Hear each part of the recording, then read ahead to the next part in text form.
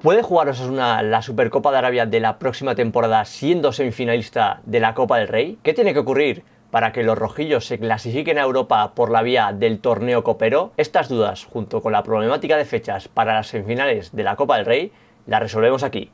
¡Empezamos!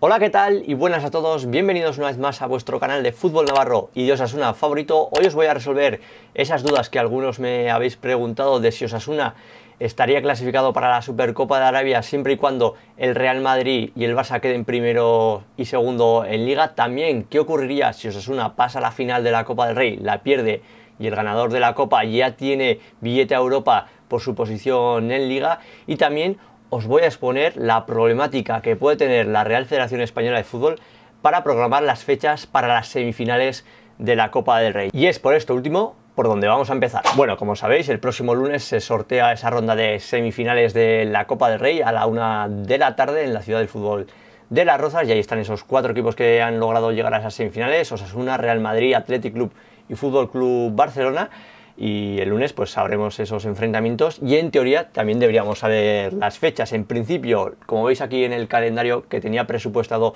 a inicio de temporada la Federación Española de Fútbol es que la ida de esas semifinales se juegue el 8 y el 9 de febrero y la vuelta el 1 y el 2 de marzo. ¿Qué ocurre? Que ese 8 de febrero el Real Madrid tiene partido del Mundial de Clubes en Marruecos. Por lo tanto, esa eliminatoria que juegue el Real Madrid contra el equipo que le toque, pues no se podría disputar eh, esa semana del 8 de, febrero. Nos iríamos a la siguiente semana, ¿no? que ahí se le abre una puerta a la federación, porque como veis, en teoría se juegan los octavos de ida eh, los octavos de final de la Champions League, el partido de ida, pero aquí el Real Madrid no tiene partido. Sin embargo, el Fútbol Club Barcelona sí que juega su partido de 16 avos, vamos a llamarlo así, de la Europa League, como está puesto aquí, contra el Manchester United. Por lo tanto, si en el sorteo sale un Real Madrid Fútbol Club Barcelona para semifinales, tampoco se podría jugar esa semana del 15 de febrero. Nos iríamos a la semana siguiente, a la del 21, 22, 23 de, febrero. Tampoco se podría jugar un Real Madrid Fútbol Club Barcelona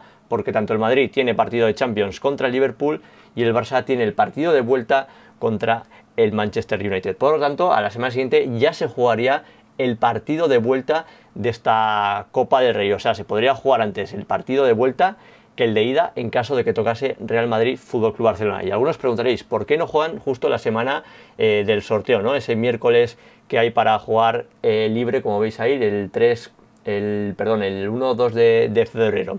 ¿Por qué no se juega? Porque tanto el Real Madrid como el Fútbol Club Barcelona tienen partido de liga, el aplazado de la jornada de, de, liga que se jugó durante la Supercopa de Arabia. El Real Madrid juega contra el Valencia y el Fútbol Club Barcelona juega contra el Betis. Así que como veis, a no ser de que toque un Real Madrid, Atleti o Osasuna, que entonces sí que podría jugarse esa semana del 14-15 de febrero, porque ahí el Real Madrid tiene, libre para, para jugar, así que no sabemos cómo va a resolver esto la, la federación, habrá que esperar a qué ocurre en el sorteo del próximo lunes, pero a la federación le vendría bien que tocase un Real Madrid, Atleti o Osasuna y un Barcelona, Atleti Osasuna, es decir, que no haya clásico en estas semifinales de la Copa del Rey.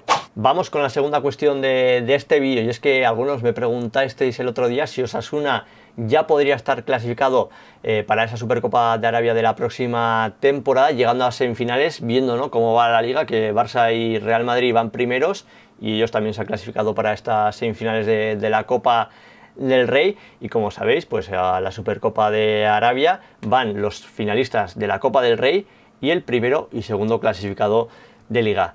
¿Qué ocurre? Que Osasuna no tiene billete para esa Supercopa de Arabia si no se clasifica para la final, está claro. Si se clasifica para la final, sí que jugará la Supercopa de Arabia de la próxima temporada. Pero en estos momentos, con ser semifinalista, no le vale. ¿Por qué? Porque tal y como viene en las normas, que aquí os las pongo, eh, aquí lo pone bien claro, lo que os he subrayado, si alguno de los finalistas del campeonato de la Copa del Rey se hubiera clasificado también en primero o segundo lugar en la liga, se mantendrán los dos clubes de la Copa del Rey, los finalistas, y las plazas correspondientes a los de la Liga eh, se, adjudicarán al siguiente o siguientes clubes clasificados. Es decir, vamos a poner el caso, Real Madrid y Barça es la final de la Copa del Rey y la liga acaba con Real Madrid entre el primero y el segundo clasificado. Pues ¿qué ocurre? Que el Real Madrid y el Barça van a la Supercopa vía Copa del Rey y el tercero y cuarto de la liga irían a la Supercopa. Por eso digo que Osasuna no está clasificado para la Supercopa ya solo con estar en estas semifinales. Y por último, ¿qué ocurriría si Osasuna pasa a la final, la pierde y el ganador de la Copa del Rey ya tiene clasificación para Europa por su clasificación en Liga?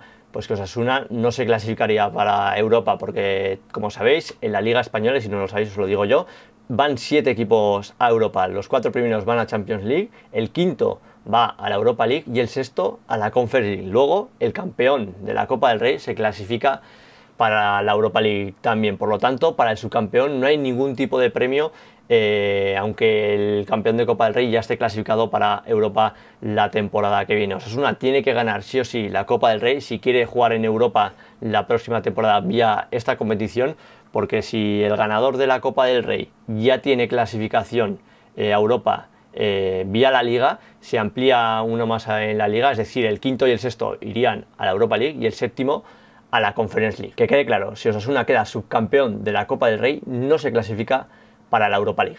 Y hasta aquí este vídeo de respuestas, de consultas, de, explicación y sobre todo quería detallar ¿no? lo que puede ocurrir el lunes en el sorteo, que a ver qué pasa, qué eliminatoria se dan. A mí me gustaría que tocase el Athletic Club para tener un posible desplazamiento cerca ¿no? a Samamés y poder hacer un vídeo como hicimos el otro día pero con mucha más emoción, ¿no? porque es una semifinal de la Copa del Rey, además el partido de ida o de vuelta, depende de dónde se juegue, pues aquí en el Sadar seguramente también haya un montón de emoción, va a ser el partido más importante de los últimos años de Dios Asuna y el partido más importante de la historia de Osasuna tras la reforma en el Sadar, así que los viviremos con muchas ganas, toque quien toque en esas semifinales, y nada, como siempre, dejad vuestro me gusta, suscribiros al canal del Fútbol Navarro y Dios Asuna, y nos vemos en el siguiente vídeo. Hasta la próxima.